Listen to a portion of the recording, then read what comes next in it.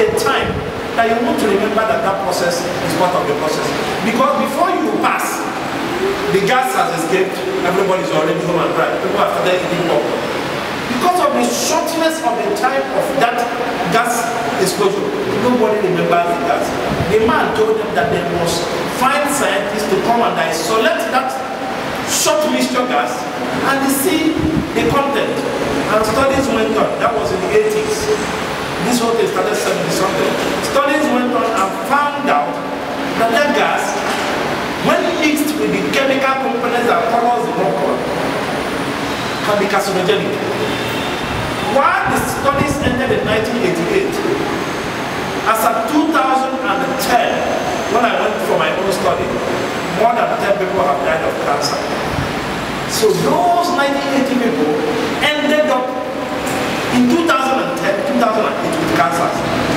So imagine that man working for only three years or even two days in that company. Who will ever take a history to link his cancer to a place he worked for only one week? Almost impossible. And that's where history comes in. That's where international organization comes in.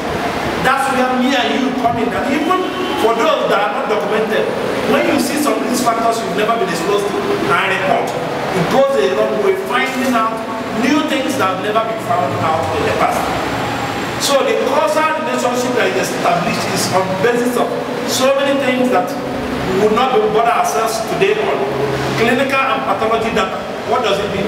I cannot be talking about cancer of those people except that we did autopsy and confirmed that those people had cancer. We will not be talking about it. Occupational history and job analysis. It was occupational history that the man did that made him go to analyze all the sections and got the result that that gas could cause that. We identif identification of occupational risk factors, which is what we're already doing now, and the role of other factors. I just mentioned that aeration can reduce the risk factor. They are the things we are here to discuss. So in classification, we'll talk about the strength of association, which is who said that if it is true that Dr. Brunner is presenting that Mr. Jude or Mr. Dauda in Parana is getting sick because of, of the fumes, can we increase the strength of this film to know whether the sickness will be worse? If we increase the fuel and the sickness becomes worse, it is directly linked. The same thing concerns consistency.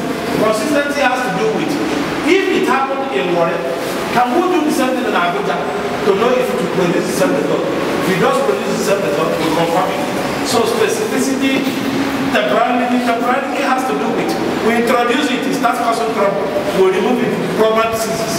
We know that's the conflict. Coherence, interventional studies. Interventional studies is where we said there is a program that works in LMPC. Let us do it here and see whether it will work. The people, the agency can conduct the same interview and the findings are the same whatever they see here. The interventional study are there. That's what we use to, relate to environmental classification. So the two major classifications, they are my classifications. So don't go online to look for them, you will see them. The two major classifications, are broaden them into the agent that is causing the problem or the system that is involved. So what do I mean?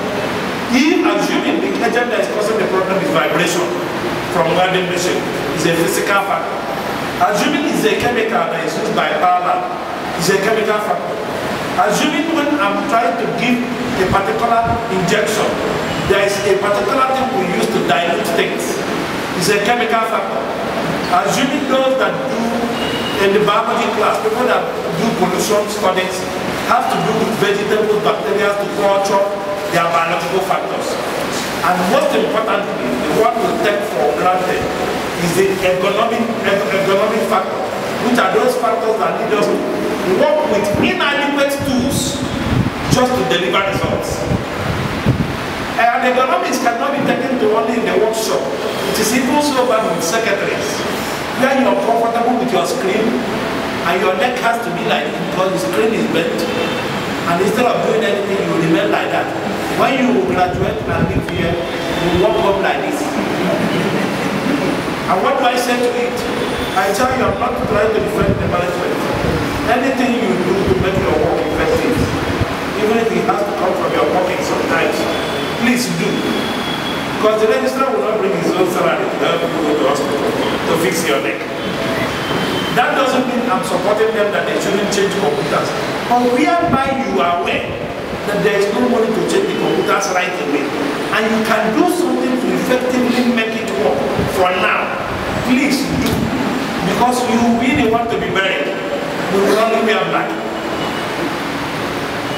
I don't know if you're getting me. Yes. I don't want to bury any of my colleagues. I don't want you to go home after graduation. If I call you for my daughter's marriage, you can't come because the West is gone. I want us to be strong when we live here. And the only way I can ensure that is by giving you this information early enough.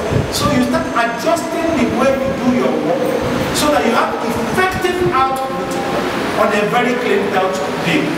So at the end of the day, when we live here, we live here happy and good. So the other classification is the one that the system affected is what we use to do department could be musculoskeletal system, their muscles, their nerves, and everything.